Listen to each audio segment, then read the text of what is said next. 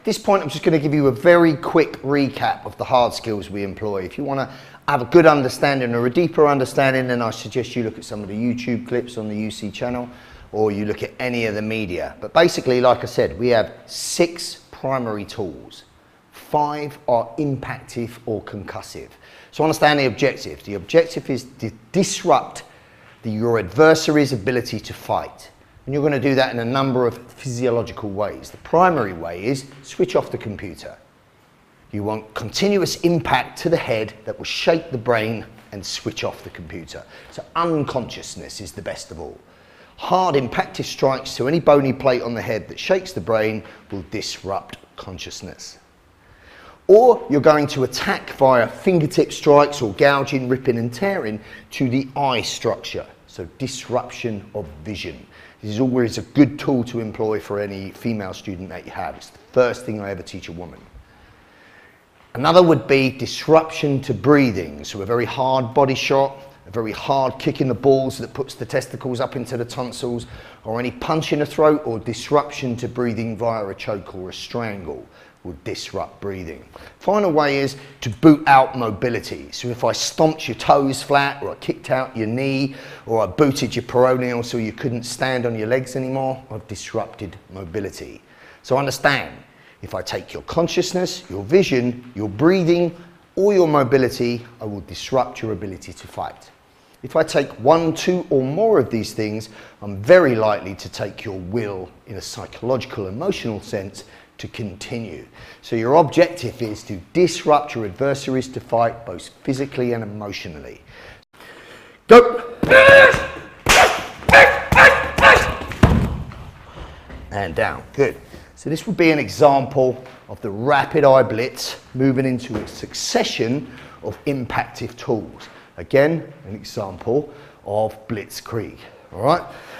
Other tools that we're going to employ are the palm strike, the hammer fist as a, a use of a tool by itself, and the elbows in the knees. First of all, I just want to give you an example of a single palm strike, which you've already seen, but I just want you to see it again.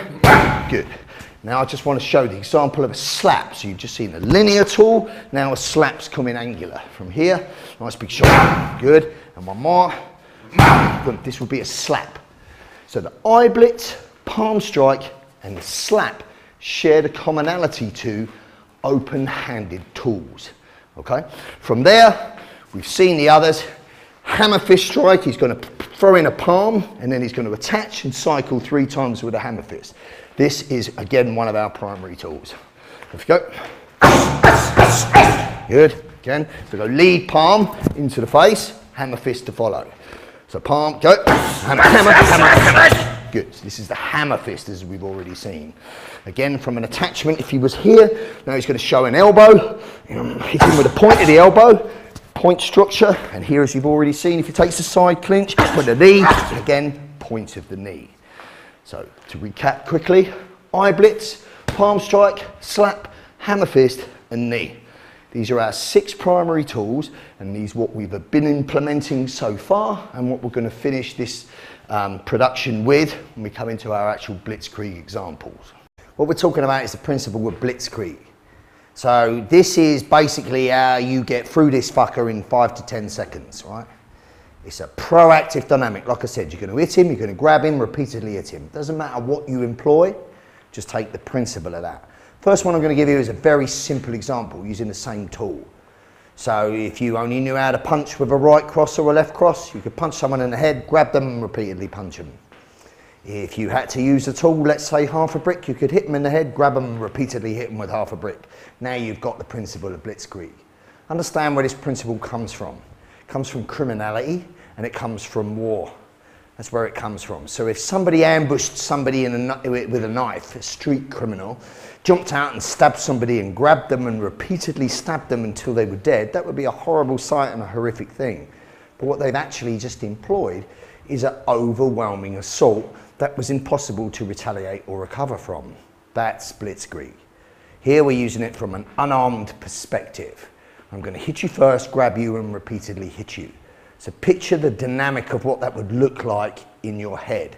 As soon as you go, you keep going and you accelerate. It's almost like a snowball at the top of a snow covered mountain, rolling down the hill, gathering mass and momentum as it gets to the end. It's just going to get worse and worse for the person on the receiving end. First example is going to be simple, what we've already done. It's going to hit him with a palm, grab him, and repeatedly hit him with a palm. Again, using the pad as a target. So here, Mikhail was going to give the example of the feed. He is the pad feeder. Jamie is the combatives trainee. So PFCT. He's going to use a natural unobtrusive position, hit him with this uh, palm strike, grab him, and then repeatedly hit. We're going to start where we intend to finish. So this is how the end piece would look once you've got the dynamic. Ready? Go! In this case, three strikes, man's down, he's gone. It can be that clinical, all right? Go one more example, just elongate, maybe four strikes.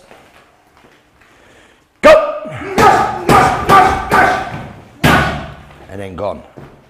Get the idea? Hit, attach, repeatedly hit. This is the principle of blitzkrieg, right? When you learn it with a simple skill such as one tool, a palm strike, there's one command going through the brain. Hold and hit, that's it. It's not complicated, it's not complex, it's gross motor.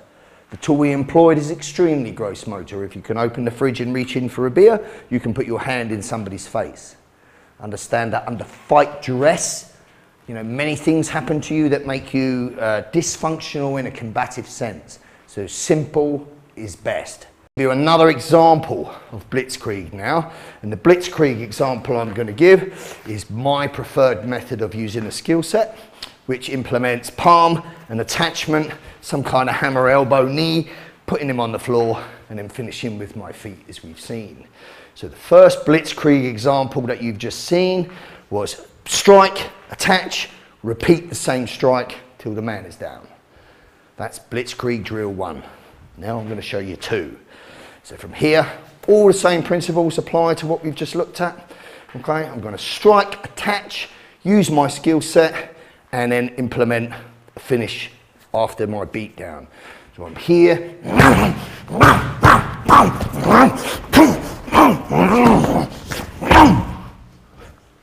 This would be an example of that. Okay, you show the same example. Again, going to go palm, attached to the garment, hammer, hammer, elbow, some kind of attachment in a knee, doesn't matter how you clinch, doesn't matter what side you use, as long as you go to a low line transition. Drill finishes with him on the floor and you making your way to the exit. Ready? Go!